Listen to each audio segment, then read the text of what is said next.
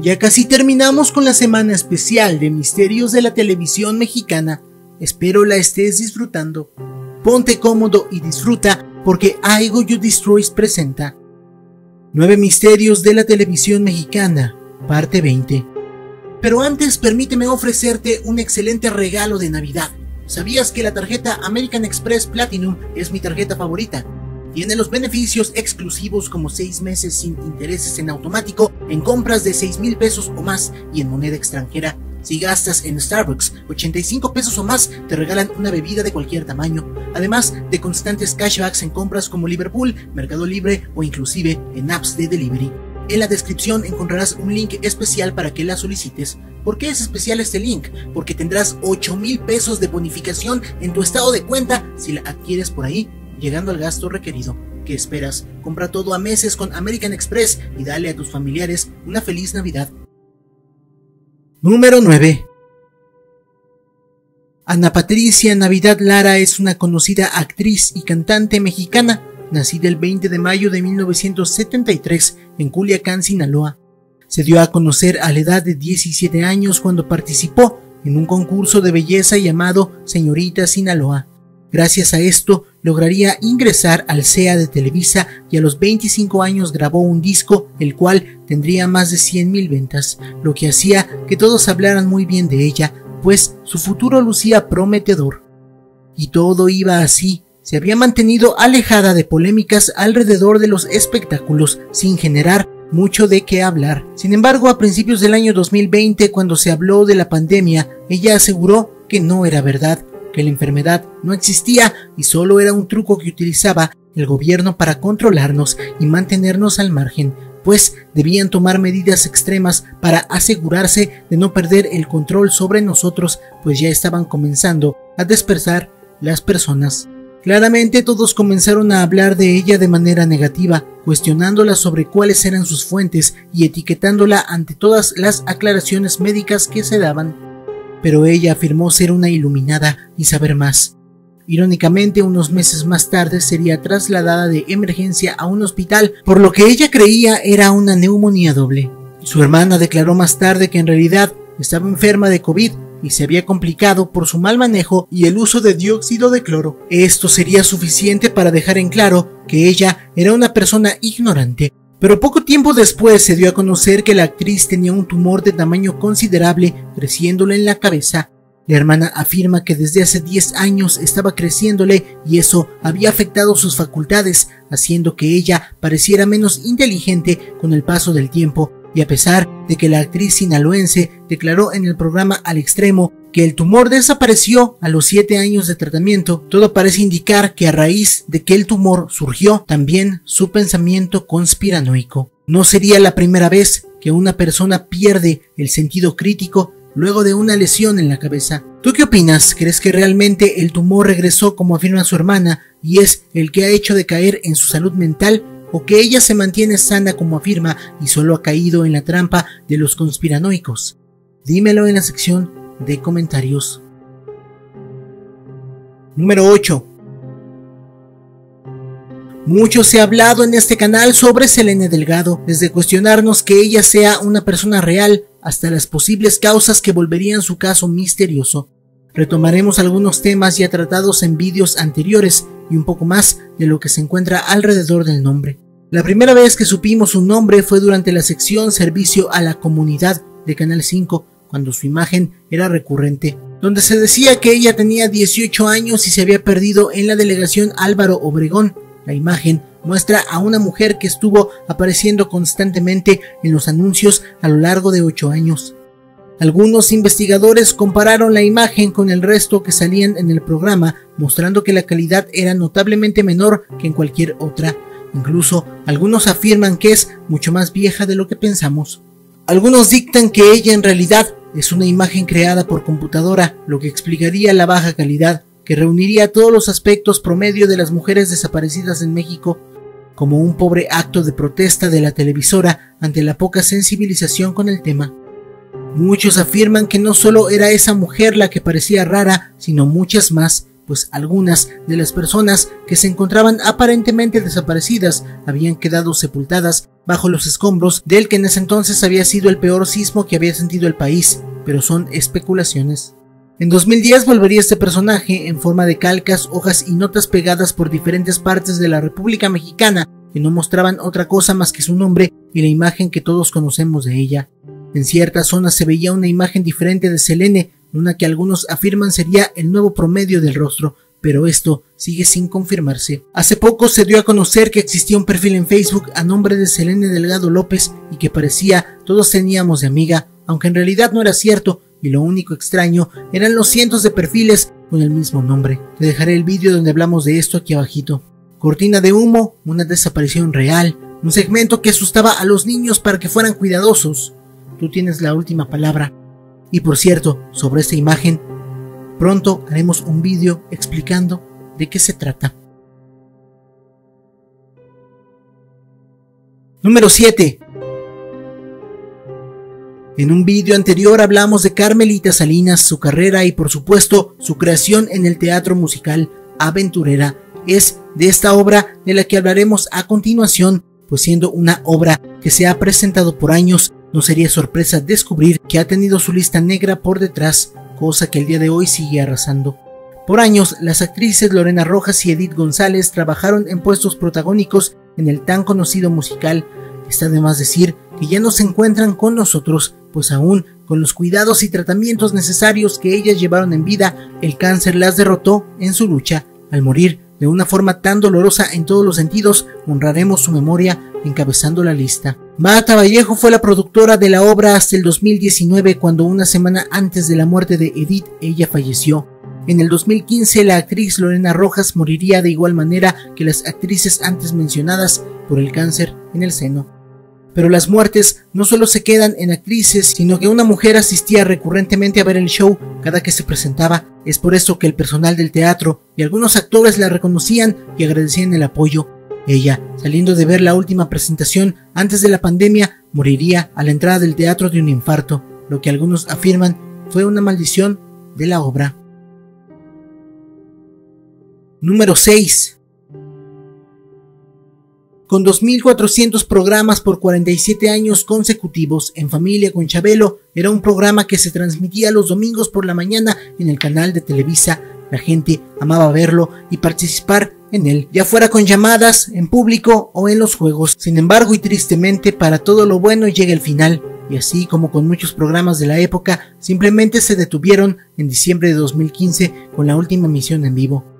Poco se sabe de su carrera y qué fue de él al día de hoy, pues lo único que nos ha dejado ver es su poca empatía ante reporteros y conductores de programas, mostrando ser una persona grosera y prepotente pero no siempre fue así. Existió un tiempo en el que siempre se hacía un espacio para disfrutar a sus fans y responder preguntas. Es aquí donde nace la teoría que afirma que Chabelo murió en su sótano en 1997 y su hermano gemelo lo reemplazó. Según se explica, Chabelo tenía años peleando su jubilación con Televisa, pues toda su vida había sido dedicada a este proyecto y no quería morir sin haber descansado un poco.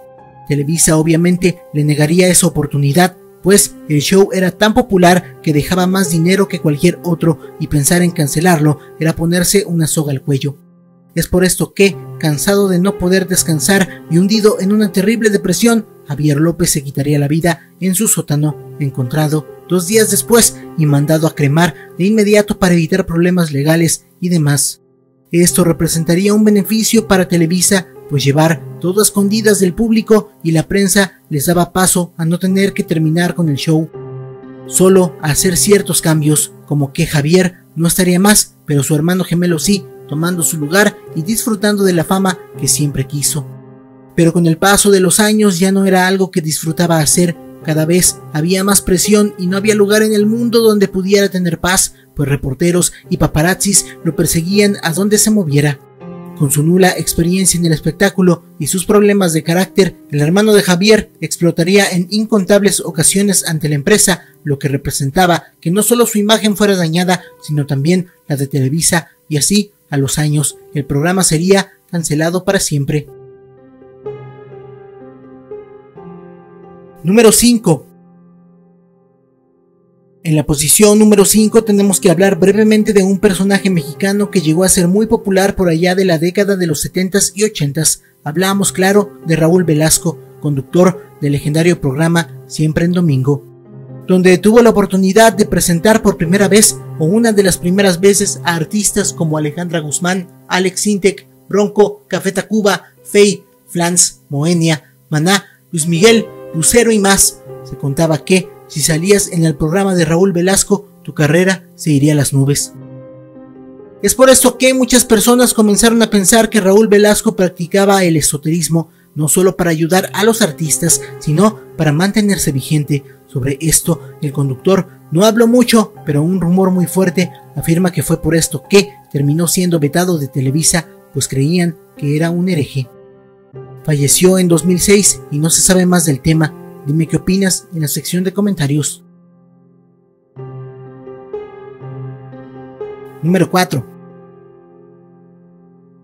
Las Lavanderas fue un programa de comedia en el que dos amigas decían chistes sobre algunos famosos y de la vida que llevaban en general. Fue muy popular en el 2012 hasta el 2014 cuando, debido a una fuerte discusión y problemas de amistad entre las conductoras Carla Luna y Carla Panini, terminaron su relación laboral y de amistad la razón, si vives sin internet en una cueva, quizá no sepas de la discusión que entre ellas se generó, pues Panini le quitaría el marido a Carla con la excusa de que él se sentía descuidado y el amor surgió entre ellos dos a raíz de la enfermedad que Luna sufría en ese momento. No hay mucho que contar al respecto que no sepas de todos modos, lo único que parece ser curioso es que aparentemente el estado de Carla Luna se deterioró con extrema velocidad, pues parecía que estaba teniendo mejoría y de pronto caería con más fuerza el peso de su enfermedad sobre ella. Su hermana afirma que ella había sido víctima de brujería, pues entre muchas cosas sentía telarañas por su cuerpo, veía sombras que la perseguían e incluso escuchaba voces, como susurros que la llamaban. Curiosamente salió a la luz hace poco la supuesta evidencia de que Carla Luna sí fue víctima de brujería de Palo Mayombe, pues, como ya lo había comentado en otro vídeo, había un altar con la foto de Panini y el ex esposo de Luna en un amarre, al igual que una muñeca deseando la muerte de Luna. El vídeo te lo dejaré aquí abajito para que puedas hacer tus propias conclusiones. Número 3. Durante la década de los noventas, el programa Otro Rollo, conducido por Adal Ramones, era la sensación, pues contó con decenas de invitados importantes como Britney Spears, Shakira, Tattoo y más, siendo considerado el programa nocturno número uno en vistas al día. En una emisión, el elenco de Otro Rollo fue invitado a promocionar el programa Reto Burundis, participando en uno de los juegos populares del show, en el que Adal guiaría a Ricardo, un compañero de trabajo, para que, con los ojos vendados, pudiera tirar a más trabajadores con botargas de burundis, formados como bolos. Ricardo no logró tirar a los burundis que se encontraban de pie, por lo que Adal recibiría un castigo. Este consistía en que un bote puesto sobre su cabeza a cierta altura de distancia se abriría y algo misterioso caería y ensuciaría al conductor. Al mismo tiempo se vería como unas chispas caerían de los laterales dando la impresión de que el bote había explotado pero al romperse, la capa que separaba el contenido de Ramones de las pirotecnias que se tenían se giró y las chispas cayeron directamente en el conductor que prendió fuego en el contenido del bote y también en el mismo material que caería.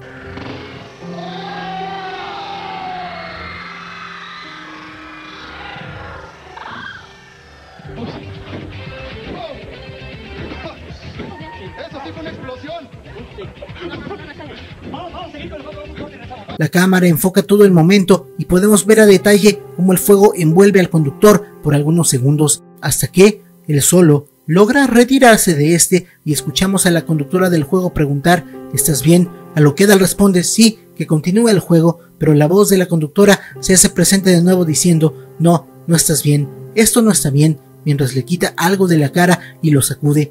Adam eh, Adal en un tono de voz ligeramente ido y sin emoción dice volvemos con el juego, pero vamos a un corte comercial. Los bailarines salen a escena y la cámara se aleja lentamente, dejando ver cómo el personal de backstage lo auxilia. Por fortuna, Adal no sufrió más allá de quemaduras sencillas de primer grado en brazos, manos y el rostro, y de manera muy profesional, al volver del corte, se dio el micrófono a Jordi Rosado y se fue a atender. Sin duda, una tragedia que pudo pasar a mayores, imaginas si él hubiera quedado en un estado de shock en el lugar? Con suerte, solo estaría un poco desfigurado, pero si hubiera tenido mala suerte, el humo, las chispas y el fuego directo le habrían quemado completamente. Un fuerte descuido que costaría caro al programa y un error que fácilmente se pudo haber evitado. Número 2. El Chapulín Universal es un supuesto episodio perdido del Chapulín Colorado que trataría de cómo tras el secuestro de ñoño, el señor Barriga pide ayuda al Chapulín Colorado que llegaría y le ayudaría a buscar por todos lados, incluyendo otra dimensión que sería el infierno y en donde don Ramón sería el diablo a su hijo. Existe un supuesto vídeo que se rescató en donde se logran ver algunas escenas, pero más tarde el canal TV Cont 1 desmentiría con lujo de detalle el vídeo, pues en él logra explicar con comparaciones las escenas reales, nombre del episodio y parte exacta en la que fue robado el fragmento que aparece en el supuesto episodio perdido. Un ejemplo es el inicio cuando se logra ver la cara de ñoño asustado, pero esta escena le pertenece a un episodio en donde la chilindrina, el chavo y él entran a la casa de la bruja del 71 y están a nada de gritar del susto. La imagen que vemos al inicio pertenece a un episodio en el que el chapulín es pequeño y lo quieren aplastar. La cara de don Ramón flotando pertenece al episodio en el que hacen una parodia a la bruja malvada y su espejo que habla y así con cada escena, sonido y fondo, que logra explicar y darle un sentido a lo poco que se nos muestra. Así que sí, lamento romper tu ilusión, pero el Chapulín Universal nunca existió y como rara vez ocurre, Internet nos engaña con sus elaboradas bromas. Número 1. El 27 de abril de 1966 en la Ciudad de México nació Arturo Elías Ayub, siendo hijo menor de tres hermanos. Le ayudaba a su padre en su empresa de uniformes y también vendía lápices y borradores en su escuela que compraba al mayoreo, siendo esta la primera forma de emprendimiento que encontró. Actualmente es director general de la Fundación Telmex Telcel, como también es director de alianzas estratégicas y contenidos de América Móvil 1 TV y siendo fan de los deportes, por supuesto que tiene algo en esta rama, pues es director también de Claro Sports. Tiene tres hijos dedicados completamente a los estudios y está casado con Joanna Slim, la menor de los seis hijos del multimillonario Carlos Slim. Arthur conoció a Joanna por su hermano Carlos, quien era mejor amigo de Arturo. Según sus palabras, él la veía como la hermanita de su amigo, pero tras llamar varias veces a la casa de los Slim para hablar con Carlos y que contestara ella, se fueron haciendo más y más unidos. Con su carisma y buen humor, Arturo enamoró a Joana y él se enamoró de ella. Dos años después de su matrimonio, este entró a trabajar en la empresa de su suegro, Telmex. Un año más tarde tuvieron a su primer hijo. Ella es licenciada en preescolar y es dueña de un colegio. Huye de las cámaras y no le gusta tener atención como la recibe su esposo, pero esto no es problema para ella, pues los Slim siempre han querido estar de bajo perfil, sin llamar mucho la atención, pues disfrutan de su vida privada, sin embargo, ella lo acompaña a todos los eventos que su esposo tenga y él siempre menciona que es su vida y todo para él. A pesar de que Arturo se jacte de ser un excelente empresario, la realidad es que no sería nada sin la ayuda de su esposa y suegro, pues fue por ellos que él logró ingresar a las empresas donde es director y claramente ascender sin preocupaciones, por lo que parte de lo que comenta en su libro sobre ser un gran millonario debido a sus aprendizajes, duro trabajo y grandes inversiones es falso, pues por más que el multimillonario empresario quiera declarar que fue gracias a su trabajo duro, la realidad es que él solo tuvo que casarse, lo que nos recuerda que no tenemos por qué sentirnos mal por no poder cumplir las metas que los grandes empresarios dicen que cumplieron a nuestra edad, pues probablemente no recorreremos el mismo camino que ellos nunca. ¿Ya sabías esto? Dime lo que opinas en la sección de comentarios. Y bien, Queda un último vídeo de la semana de los misterios de la televisión mexicana, así que activa la campanita y suscríbete para no perdértelo. Muchachos, muchas gracias por haber visto el vídeo, ya saben, denle like, compartanlo, suscríbanse, síganme en mis redes sociales y apoyen al canal para aparecer al final de los vídeos. Por mi parte sería todo, yo soy Airo Yo Destroys, tengo a los mejores seguidores, no son ustedes, muchas gracias, pum pum.